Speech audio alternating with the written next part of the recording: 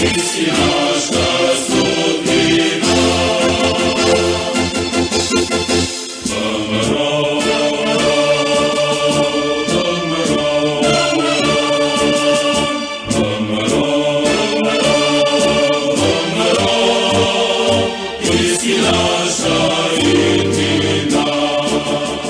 На почетокот од 2000 година Роберт Хајслоп ке рече сите држави имаат мафија, ама на Балканот има опасност мафиите да имаат своји држави. Е сега кога ги гледаме состојбите со корупцијата и криминалот и барам некаков излез, читам дека во Италија си донеле на времето еден закон против мафијата. И сега го препорачуваат.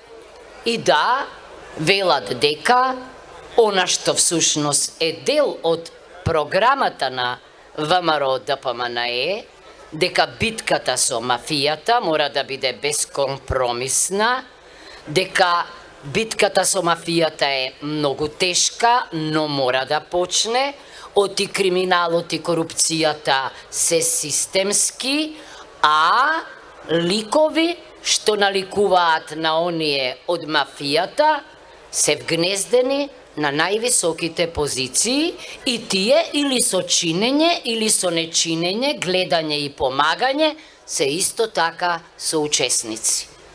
Значи, не чека тешка битка. Ова не се обични избори, туку референдумско изјаснување за еднината на Македонија. И кога ја гледам во огромен број собрани, знам дека народот е одлучен да има промени кои ќе променат грдата и тешка реалност. Предолго луѓето се потурнувани на страна од просечни политички елити, а државата е ограбувана од стотина луѓе кои се добрале до државни позиции и функции и се богатат на грбот на народот. Но убеден сум дека она кое што ќе се случи после 8 мај ќе биде ослободување на Македонија и обединување околу пет важни принципи. Првото, почитување владење на правото, правна држава, одговорност за тие кои што се огрешиле спрема законите. Второ, или вториот принцип, како сакате, економски развој, подигнување на животниот стандард и подобар живот за сите граѓани.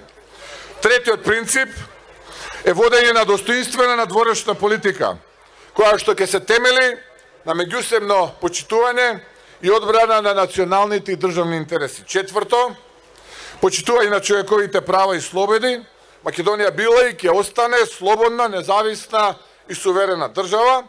Пето, може би најважен, Македонија да ја вратиме на народот. Македонија му припаја на народот, бидејќи сега е украдена од неколкумина, би рекол дел од раководството на ДУИ и уште помалкумина измекјари на овие од ДУИ, кои што се се уште раководство во СДСМ.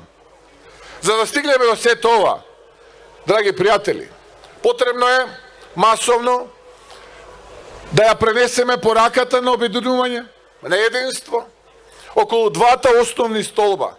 Најпрвен на 24 април, сега во среда, за три дена од денеска, заокружувајќи го бројот 2, заокружувајќи за едниот председател, Гордана Силјановска Давкова, а потоа на 8 мај да се обединиме повторно околу бројот 2 и покрај тоа што ќе ја направиме Македонија горда, заедно со Гордана Силјановска Давкова, да ја направиме Македонија твоја заедно со коалицијата Твоја Македонија предводена од ВМРО ДПМН.